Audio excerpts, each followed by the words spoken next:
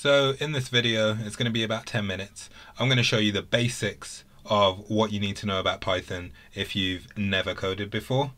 Um, normally you would install it onto your computer, but just for the sake of ease and speed, um, you can just go to this website, programiz.com forward slash Python programming forward slash online compiler.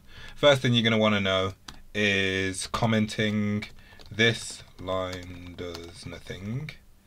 Um, so if we put a hash at the start of our line, then it's not going to do anything. What we're going to um, also, if we do three speech marks and three speech marks, everything in between that space doesn't do anything either. So what we're going to be covering is we're going to cover printing. So that's outputs. We're going to cover inputs. Um, we're going to do variables and data types um, we're going to do if statements, we're going to do loops, one and for, and that is probably all we're going to have time for. Um, we're also going to do lists, but that's going to be inside of the loops. Alright, so first thing is we're going to do print so this is to make it give an output. So hello, and that's our program. All it does, none of this code does anything, but this one does, and it prints hello. So if we wanted to do a variable, a variable is basically like a container that holds a value. So we could call it x, a bit like algebra. So inside of x, we want that to be um, hello and then what we're going to do instead of telling this to print hello we're going to tell it to print x which is still hello. So it still prints the same thing.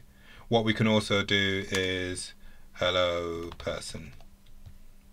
So if we change that then the thing that it prints out is going to change.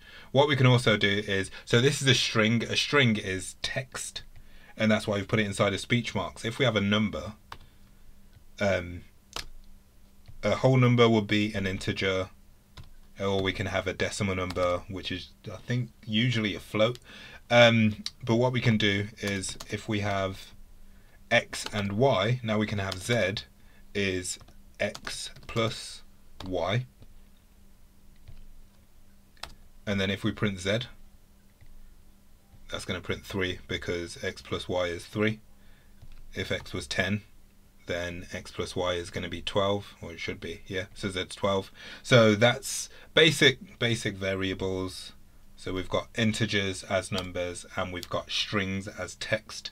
Next thing we're going to do is input. So we're going to do z equals and so this is going to allow the user to input something so this is going to be a prompt which asks the user for what they're going to put in. So let's say what is your name. And then we'll run that. And then we'll say my name is Steve even though it's not. My name's Isaac. Alright mess that one up. What is your name? Hmm. Let's have a look at what's up with that. Let's try that again. What is your name? Steve Okay, don't know what happened the first time. Oh, that's why I typed in Stevenson instruction on this side. Ignore that. Um, the next thing that we wanted to do was if statements. So what we can say is if name is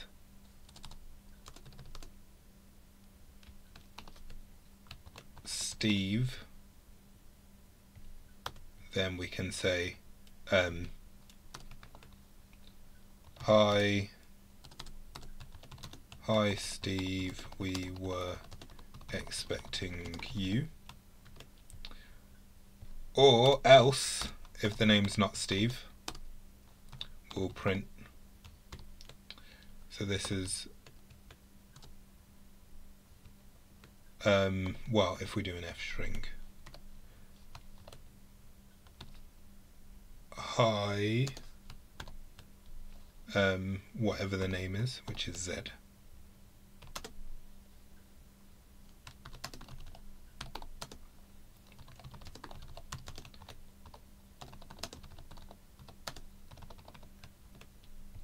Alright, so let's try this. If name equals, oh yeah, so we can need to change this to name.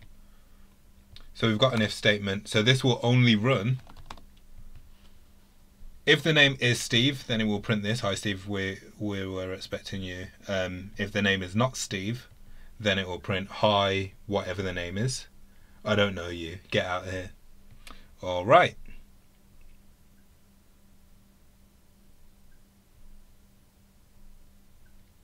Don't know what's going on here.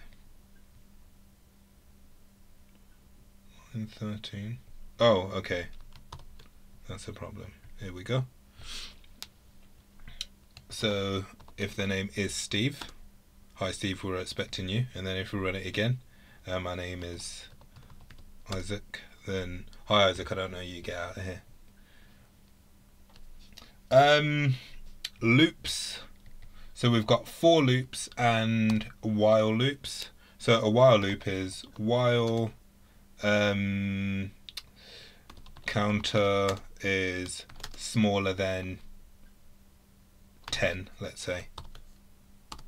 And then we'll print whatever the counter is, which actually doesn't exist yet.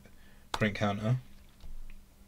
Um, and then we'll increase the counter. So plus equals this, doing that is the same as doing counter equals counter plus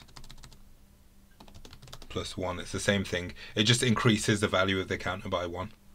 So what we're going to do is our counter is going to start off as zero. So that's our variable. And as long as it is smaller than 10, then it's going to print. So this is actually going to print until the counter is 9.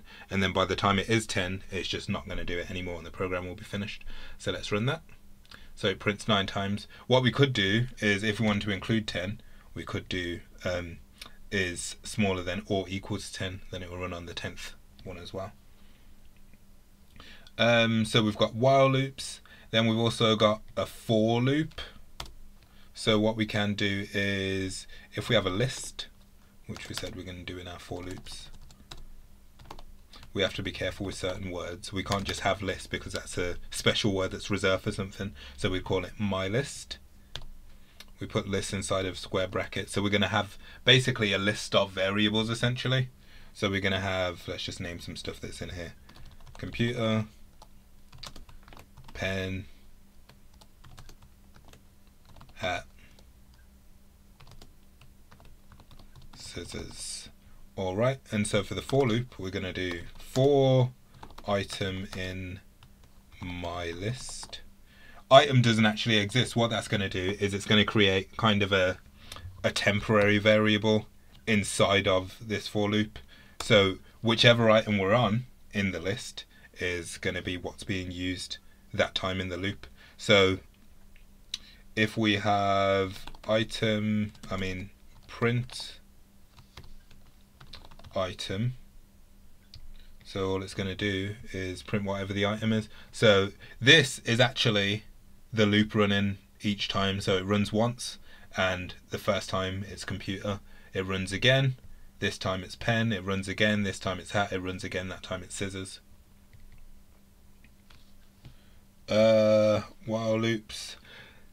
And then we've got functions. So what we do is a function is a block of code and we can give it a name. So then instead of having to write out this whole block of code, especially if it's something we're going to use again and again, we can just give that block of code a name and um, run it as a function. So let's have a function which is, um, uh, let's see, print my I should have left my list existing, shouldn't I? Print my list. So my list equals